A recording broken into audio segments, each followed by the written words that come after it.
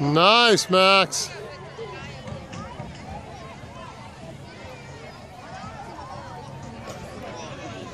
There you go. What? You just stopped it. Yeah, because where it drops, not where it rolls. Oh.